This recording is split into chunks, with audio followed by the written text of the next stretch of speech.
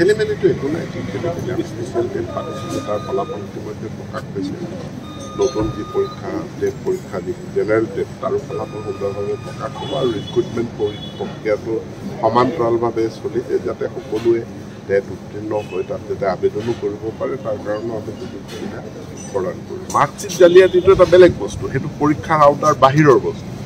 পৰীক্ষা সম্পৰ্কে যে নিৰ্দিষ্ট কেইটামান প্ৰশ্নৰ উত্তৰক লৈ যি আছিল সেই উত্তৰ এতিয়া ছাত্ৰ ছাত্ৰীয়ে নিৰ্ধাৰণ কৰিব নেকি উত্তৰটো কি হয়? গতিকে আমি ডিব্ৰুগড় বিশ্ববিদ্যালয় গুৱাহাটী বিশ্ববিদ্যালয়ৰ আমি ফেকাল্টিসকলক তেওঁলোকক দায়িত্ব দিছিলোঁ যে ইয়াৰ উত্তৰকেইটা কোনটো শুদ্ধ কোনটো অশুদ্ধ শুদ্ধ অশুদ্ধ নিৰ্ণয় কৰি পেলাই যাক য'ত যেনেকুৱা নম্বৰ দিব লাগে সেইটো সম্পূৰ্ণভাৱে দি দিয়া হৈছে। ইয়াতে কোনো গাফিলতি বা কোনো বেমেজালি একোৱেই নাই। কিছুমান ছাত্ৰ ছাত্ৰী ক'ৰবাত তেওঁলোকে ভুৱা চাৰ্টিফিকেট দি চাকৰি লৈছে। বা লোৱাৰ প্ৰয়াস কৰিছে। সেইটো অকল কেৱল টেট চাৰ্টিফিকেট নহয় বি এড চাৰ্টিফিকেটৰ ক্ষেত্ৰতো আমি সেইখিনি তন্ন তন্নকৈ পৰীক্ষা কৰিছোঁ আৰু য'ত য'ত ধৰা পেলাইছোঁ কঠোৰ ব্যৱস্থা গ্ৰহণ কৰা হৈছে। ভৱিষ্যতে এই স্ক্ৰিনিংটো খুব কঠোৰভাৱে হ'ব। সকলো প্ৰাৰ্থীলৈ মই এটা মেছেজ দিব বিচাৰোঁ কোনেও যাতে এনেকুৱা জালত ধৰি নিদিয়ে। প্ৰত্যেকখিলা কাগজ এখন এখনকৈ আমি চাওঁ।